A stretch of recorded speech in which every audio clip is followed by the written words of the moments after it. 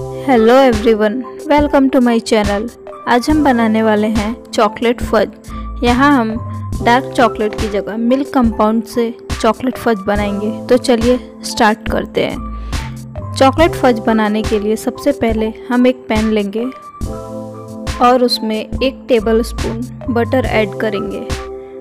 Butter melt हो जाने के बाद हम इसमें 100 ग्राम ग्रेट किया हुआ मिल्क कंपाउंड ऐड करेंगे। हम इसमें दो टेबलस्पून बटर और ऐड करेंगे। यहाँ मेरे पास यूज़ किया हुआ बटर पड़ा हुआ था तो मैं वही इस्तेमाल कर रही हूँ। आप अलग से बटर इस्तेमाल कर सकते हैं। चॉकलेट को लगातार चलाते रहें, वरना हमारी चॉकलेट जल जाएगी। ध्यान रहे कि यह प्रोसेस करते समय गैस की फ्लेम धीमी रहे। इसे लगातार चलाते रहें। देखिए, हमारी चॉकलेट अच्छे से मेल्ट हो गई है।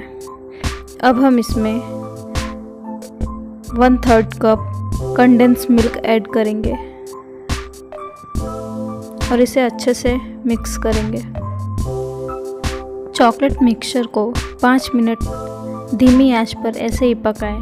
अब हम इसमें one third cup milk powder थोड़ा थोड़ा करके ऐड करेंगे। यदि हम सारा पाउडर एक साथ डाल देंगे तो हमारे मिक्सर में गुठलियाँ बन जाएँगी। इसके लिए हम थोड़ा थोड़ा ऐड करेंगे। और इसे लगातार तीन से चार मिनट तक अच्छे से पकाएँ। देखिए, हमारा चॉकलेट का मिक्सचर अब तैयार हो गया है। अब हम इसमें एक टेबल स्पून चॉप किया हुआ काजू ऐड करेंगे और इसे मिक्स करके दो से तीन मिनट के लिए पकाएँगे। देखिए, हमारा मिक्सचर अब पैन रिलीज़ करने लगा है। अब गैस बंद कर देंगे। अब हम एक प्लेट लेंगे और उसमें बारीक कटा हुआ बादाम डाल देंगे।